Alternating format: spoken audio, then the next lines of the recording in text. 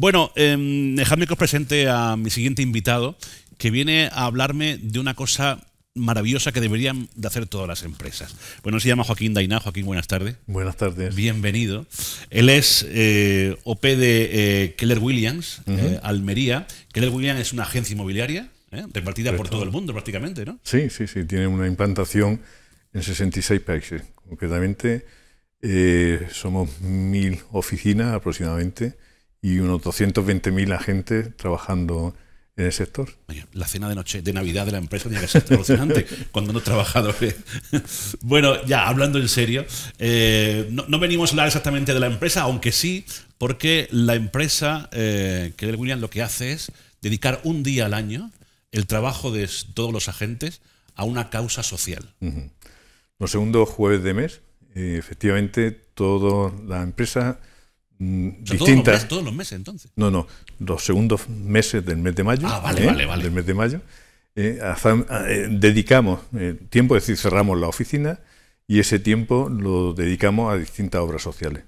Pueden ser variopintas y en re- hay muchísimas, digamos, posibilidades de hacer muchas cosas y por lo tanto lo único es concentrarse en desarrollarla y hacer un programa específico Claro. Para... Es lo que llamáis el, el Red Day, ¿no? Sí, De hecho, tenemos por aquí una, una de las gorras que, que- que lleváis, imagino, en días como este y que os identifica ¿no? como, como miembros de, de Williams y además como participantes en este Red Day. Sí, nos vestimos de rojo, todos, por lo tanto tenemos una imagen corporativa y vamos con esa imagen a desarrollar acciones como pueden ser limpieza de playa, que muchas veces hemos hecho aquí en Almería, hemos limpiado en Costa Cabana, en Las Salinas, otras veces hemos estado en obras sociales más eh, eh, comprometidas, más difícil. Hoy hemos tenido una obra social en, en esa línea. La pandemia nos recortó eh, muchas Sí. eh, posibilidades y entonces durante ese tiempo, porque en principio lo que hacemos es donar tiempo, Claro. no donamos dinero. Pero durante la pandemia lo que hicimos fue recaudar también. Ojo, el tiempo de una empresa que cierra todas sus oficinas en, un- en este día, ese tiempo se convierte también en dinero. Yo hacía antes unas cifras eh, y quería, cre- creía que nos aproximamos a los 20 millones de euros. eh. Claro, El tiempo destinado, porque es 220.000 por 8 horas, claro. que son prácticamente la jornada de- del día, por unas 10 horas, que eh, está por debajo del salario mínimo, pues representaría eso, sí, unos 20 millones de, de euros donados, eh, que yo creo que se hace a satisfacción porque no solamente es el tiempo que tú eh, das, eh, sino lo que recibes. Y hoy concretamente venimos de una lección de vida, que hemos tenido mucha suerte. Bueno, venís satisfechísimos ¿no? de lo que ha Sí. ocurrido. Habéis estado en la Casa de Nazaret. Correcto. No es la primera vez. No. Ya habéis estado en alguna ocasión en alguno de estos retos que proponéis. Habéis estado arreglando los jardines. ¿no? Sí, sí, ¿Y hoy qué habéis hecho? Pues ciertamente algo distinto, porque eh, era una visita al cable inglés. Y bueno, pues era una logística especial, porque en definitiva son eh, personas que tienen sus dificultades. eh, y era convivir con ellos haciendo un viaje. Y hemos hecho un viaje por la ciudad, que algunas de las personas que estaban allí pues nos han dicho, ¿cuánto tiempo hace? ¿Qué cambiada está la ciudad? No me digas. Sí, sí, sí, sí. Y bueno, pues esos quien eran de Almería. Y con otros, pues porque tenemos muchos compañeros que hablan bastante idioma, Ajá. pues hemos tenido la oportunidad de conocer también eh, magnitudes de personas que vienen de fuera eh, y que tienen dificultades de todo tipo, que no han cos- conseguido eh, socializar aquí en España y que tienen, son marginados, personas atrapadas. ¿no? Y hemos tenido la oportunidad de sacarle dos o tres píldoras de, de- de mucha belleza, de la dureza de, de su vida, y convivir eh, con esa realidad no siempre se tiene la oportunidad. Nosotros pensábamos hoy que íbamos a dar y hemos venido a recibir, ¿eh? porque han sido lecciones de vida casi todo lo que hemos vivido. Claro, porque un ratico de conversación solamente con estas personas ya tenéis ahí energía para, para todo el año. Sí, sí, sí, sí. Y las personas sobre todo que día a día trabajan allí. ¿eh? Cuando ves que hay vocaciones y trabajo y lo hacen día a día, nuestro caso no tiene demasiada dificultad, pero cuando ellos están todos los días haciendo eso, significa que hay gente con otros valores de los que normalmente se mueven y que te Sí, porque fíjate, hemos empezado la entrevista después de ver unas imágenes del circo acrobático Ujú. chino. Acrobacia es la que hacen estos padres de la Cruz Blanca cada día para, para poder dar de comer a estas personas, para poder cuidarlas, para poder llevar a cabo su misión, ¿no? Impresionante.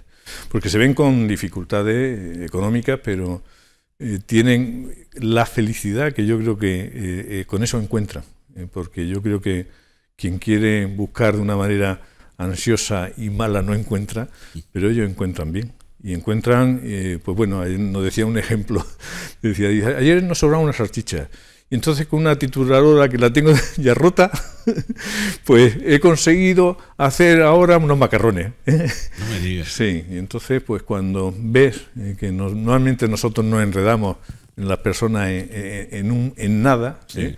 y ellos pues con, van resolviendo con una facilidad tremenda la, la vida, pues sí, es decir, gratificante al máximo tener la oportunidad ha sido una fortuna para nosotros estar allí.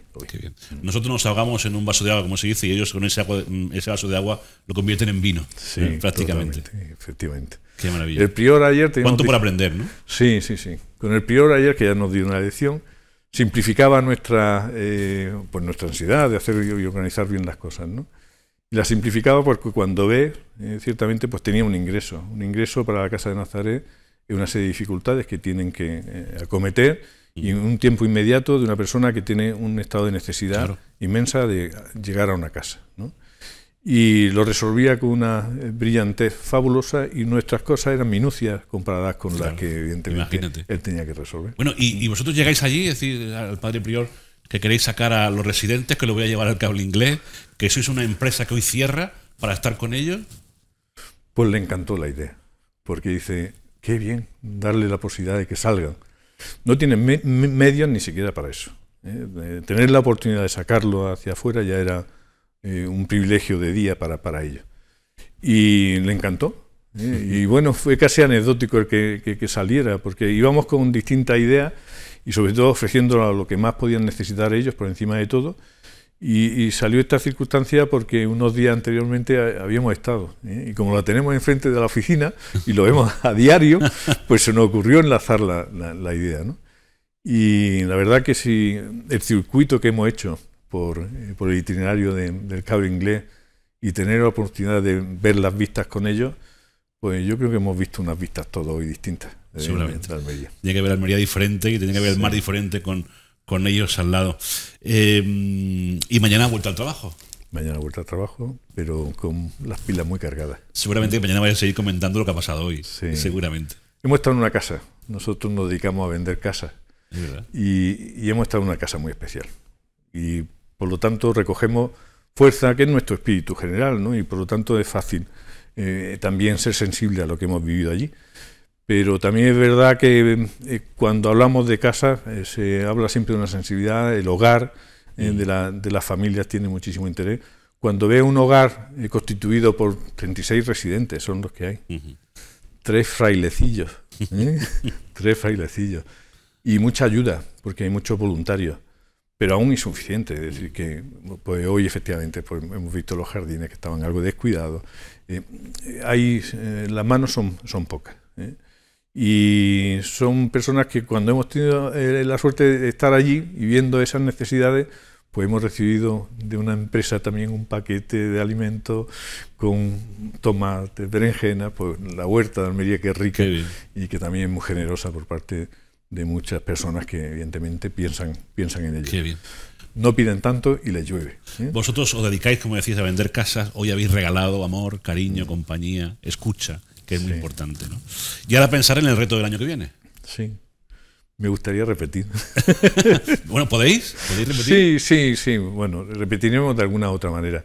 Yo creo que podemos agudizar más, en, identificar más sus necesidades todavía.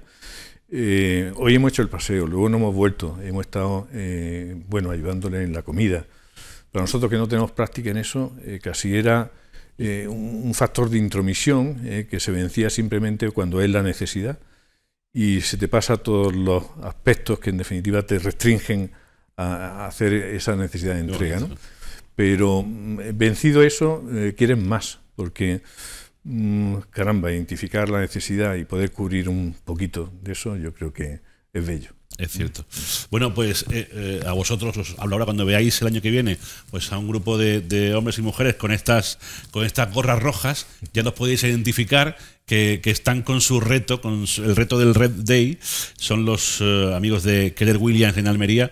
Que qué magnífica idea, de verdad. ¿Cuánto tiempo lleváis haciendo esto? Pues la empresa tiene mucho tiempo, ya supera los 25 años y desde el principio empezó con ese enfoque, eh, porque es una cultura muy especial la que vive, socializa, nuestros lemas son vida, familia y después negocio, es decir, el negocio es el tercer factor. ¿eh? Y priorizamos eso. Nuestro gran reto es incorporar personas que quieran desarrollar una carrera profesional y ayudamos en esa intensidad y detrás de esa ayuda profesional va una ayuda también personal, de mucha, de mucha transformación también personal. Qué, maravilla. Pues em, Joaquín, muchísimas gracias por haber venido a contarlo, por compartirlo con nosotros, por mostrar además esa cara de satisfacción todavía recordando lo que habéis hecho hoy. Y, nada, aquí os esperamos para que nos contéis qué vais a hacer el año que viene. Muchísimas gracias. Gracias a ti.